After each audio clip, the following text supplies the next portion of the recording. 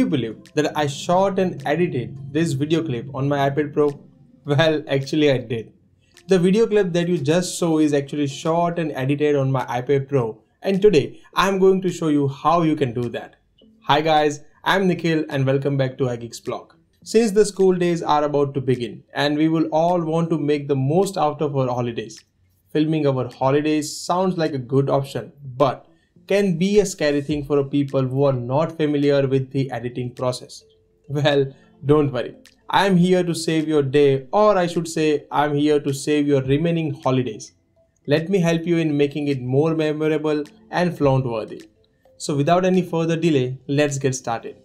First thing first is equipment. Which equipment do you need or require? You will need a professional camera worth $1000, a professional lenses a high-tech professional studio, super fancy editing software, and a Swiss bank account to afford all this. Just kidding. So what you will need is simply your iPad Pro, an editing app like iMovie or Adobe Premiere Rush, and lastly, a creative mind. If you all have this, you are good to go.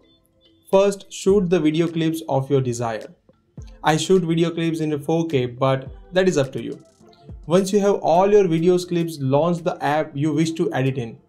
I am going with an Adobe Premiere Rush. It is a free to download app which offer in-app purchases. I am using the free version here. I will also put a link to download this app in the description box below. Next, create a project and select the files you want to edit.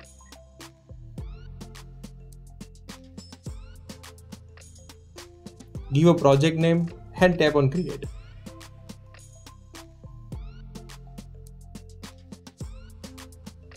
Now you will have a timeline like this and with all the videos you have selected.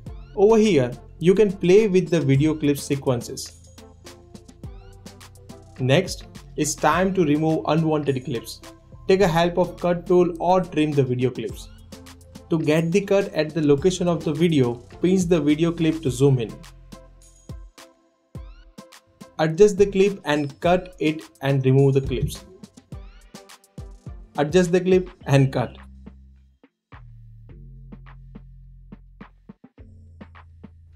Don't worry, you can always adjust the trim clip if you want other portion of the clip.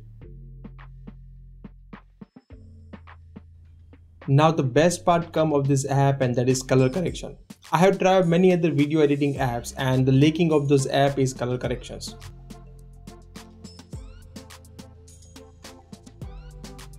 Let me try some preloaded presets. I guess this seems to be good. If you don't like the, any of them, don't worry. You can always adjust the colors of your choice from the edit tab. Now the clip selection is done, trimming is done, color correction is done, but next what? Mm, let me tell you what. Can you see this odd video switching? It looks ugly, right? How about adding some professional transitions to look it more beautiful? Here you go. This app comes with some pre-added presets of transitions which I really love. So let's try them. Look at this transition. The merge between the video clips is so smooth. A few more transition and good to go.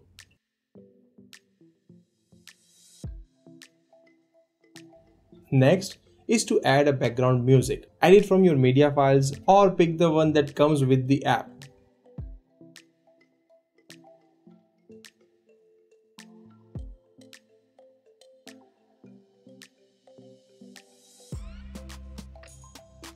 Adjust the volume and the video is almost ready to produce.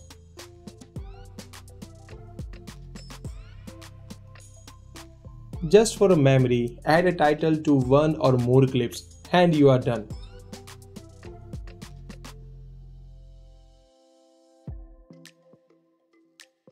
Now move to share and from here we need to export the video.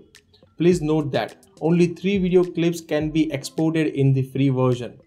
To export more, you will have to pay for the Adobe subscriptions of $9.99 a month. So yeah, it is actually this simple to create the videos on your iPad Pro. Now you are all set to show off your video editing skill to your friends and family along. and you also have a swoon worthy video of your holidays. So enjoy. Oh, let me tell you this. If you are an aspiring YouTuber, you can also consider using an iPad Pro to shoot and edit your videos.